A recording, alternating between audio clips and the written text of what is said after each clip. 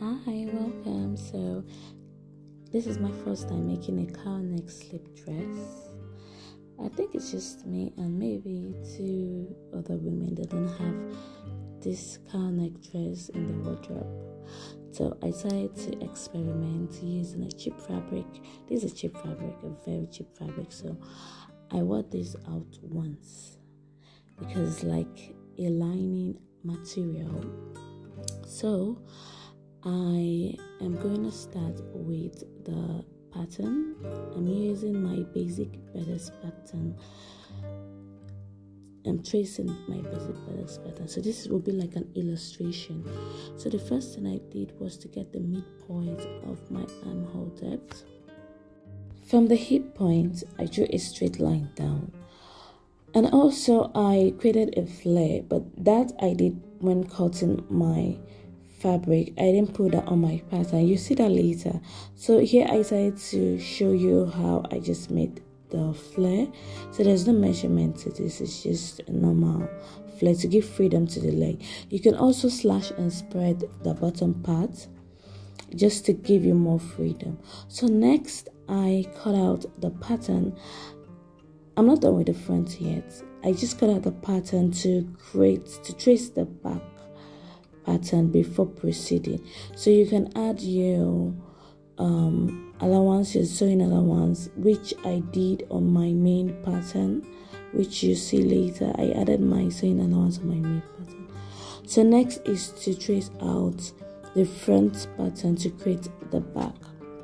I marked out the armhole depth and cancelled the top part because I only need from the armhole depth point for the back. So I just cut that part out. So the, the top part you measure it for the strap. So you measure the top part to get your strap your back strap. So for the front I went ahead to cut from the midpoint down then trace then measure to get my strap for the front. So the next step for the front is to mark from the armhole depth up one inch. I drew a line all the way to the center front and cut that one inch point open. This is like the slash line. So next I cut a fresh pattern and place my front pattern on it just close just like this. This is how i placed it. The center front on the edge of the pattern then spread open. So i did spread open by 4 3 over am 4 sorry 4 3 over 4 so you can go higher if you want the if you want the neck to the cowl neck to fall down a bit or you can just stick to it. So next thing i folded the pattern on the slash open line at the top. I drew a line so i know where to the points to um, bend like fold the pattern. So i just folded the pattern just like this and trace then from the armhole depth i went down two and a half inches. So this is where i will stop cutting while cutting out the pattern so just watch what I did here. From the armhole, I cut down to the two and a half inches point and spread open the pattern. So next I drew a slant line to the center front. From the two and a half inches point, I drew a, a slash line to the center front just on that previously drawn line so that is all. So after this i just cut out the remaining pattern so this is like a facing to the front part of um, the pattern. So here we go the two um, the front and back pattern.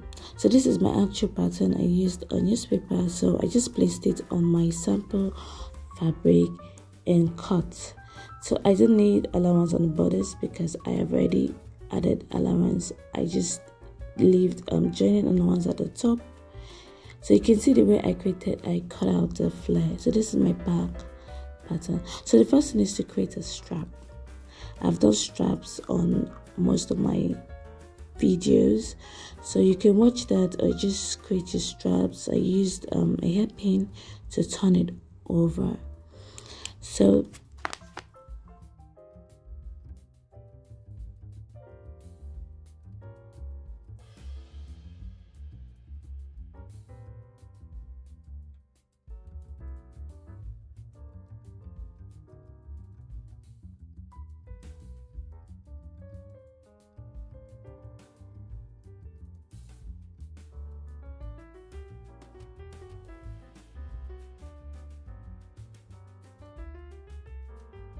Next, I locked the edge of the front facing.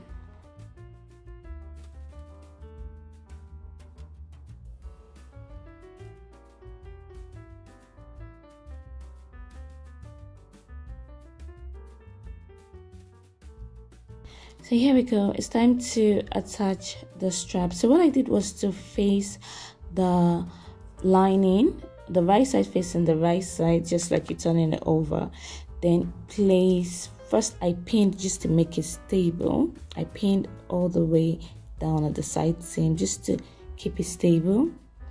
So I just um, placed my strap just see the way I did that yeah from underneath the facing I just put it out a bit and pin because this is how the strap is gonna be. So I just pin it out then pin the armhole because I'll just be sewing the armhole only. I won't be sewing the side seam yet. So watch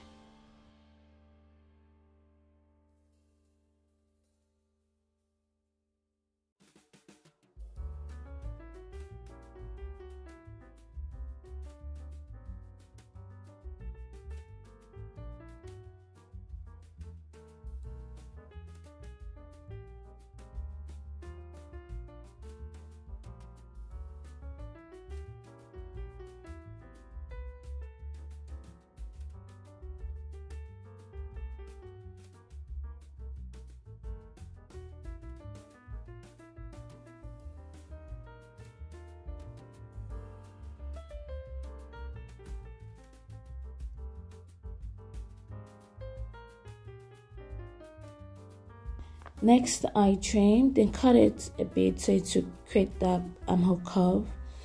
Then turn it over and do I did a top stitch.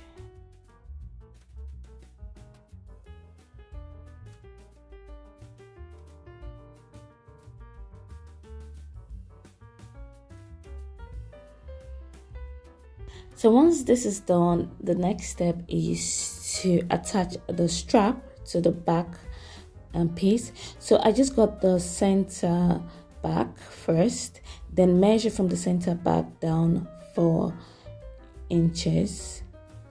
Then use a pin to identify that point then place my strap. So watch and see what I did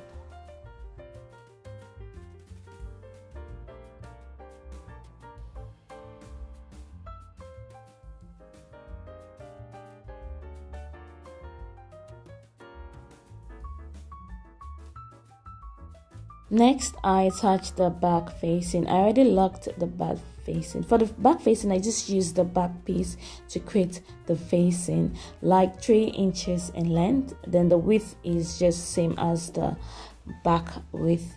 So I just pinned and sew. After sewing the back facing, I did a top stitch. So watch.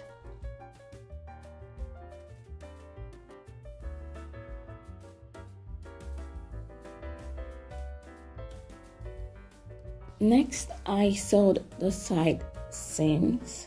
So after sewing the side seam, I tried it on to see if I needed to make any other adjustment before locking the side seams.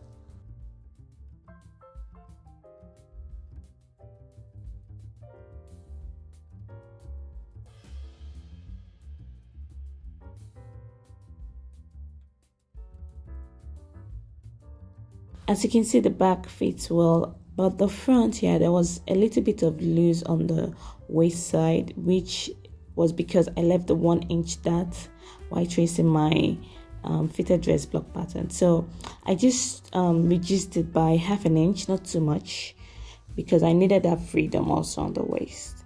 So after that, after adjusting the waist, I locked. So it's time for the bottom to, I locked the bottom before hemming. The bottom of the dress before I hemmed.